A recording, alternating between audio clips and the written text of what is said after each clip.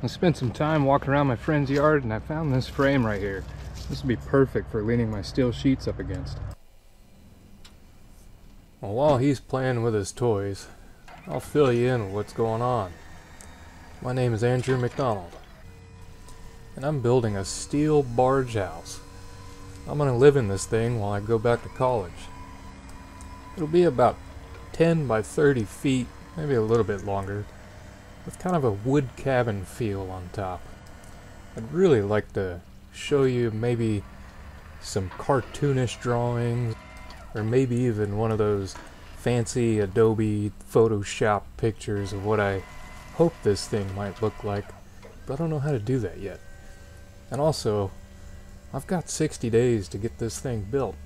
School starts in August.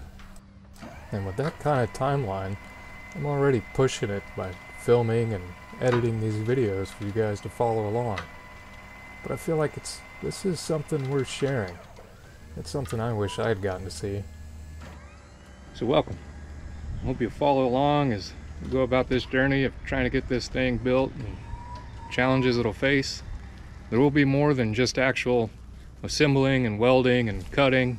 Let me show you a little bit of the, the logistics that go behind getting something like this done.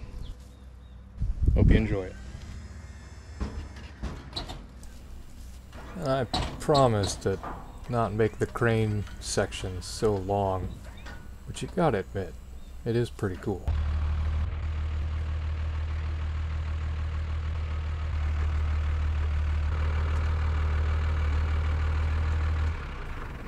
And now he's almost got that thing in place, let me show you something.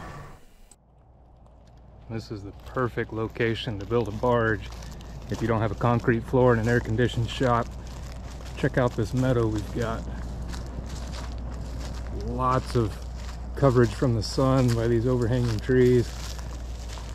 Get in here with a bush hog, clean it up. It'll be a beautiful place to get this thing built. But before we get to cutting and welding, I need to drive back towards Tennessee to pick up my car and dad's gonna bring it down on a trailer this is his trailer and I need to get this trailer unloaded so I can take it back to him. On here we've got 5x10 3 16 A36 steel plate. And underneath it we got some really good hardwood and some dimensional lumber.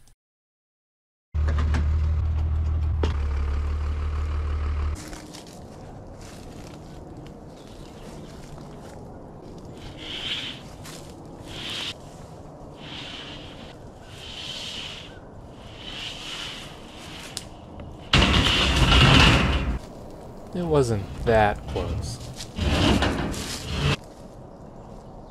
Oh, that long moment of, dang it, that didn't work. I'm not strong enough to lift it up. My crane is.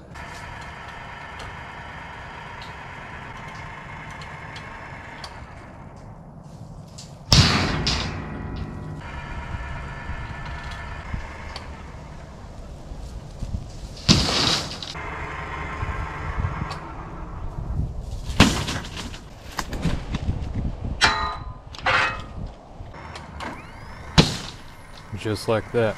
All 15 sheets unloaded. Nothing to it. With all the steel unloaded and stacked neatly, that'll be a great place for me to come over here and pick it up with the crane. Now I need to get this wood off of here. I'm gonna go see what I can find in the yard. Found these power line poles. I think these will be excellent dunnage to set the wood on.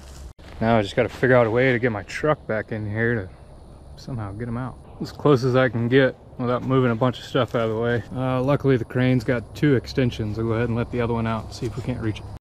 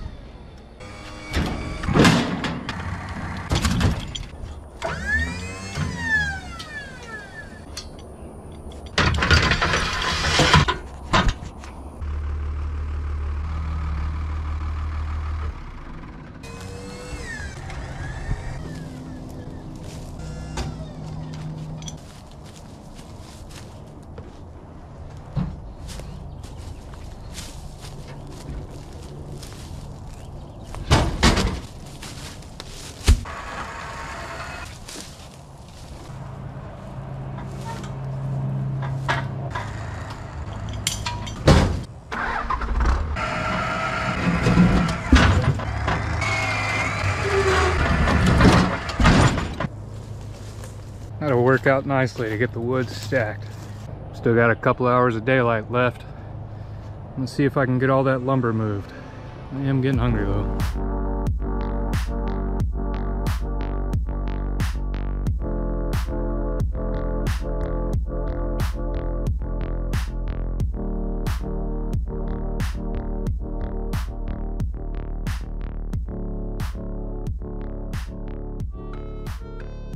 All right, got the trailer unloaded. Pretty good wood in the stack. Get this thing back to my dad in the morning. I appreciate him storing that wood for all those years. And still got some daylight to cook dinner. While preparing this meal, I had a lot of time to think and just how thankful I am for everyone's help in trying to get something like this done. Good friend for letting me use his property. Dad for storing that wood all those years. Doug for lending out his generator, welder, plasma cutter, chains. You know, something like this doesn't get done one person alone. It takes a group effort. And I hope you get a chance sometimes to stop and think about everybody that's helped you get as far as you are.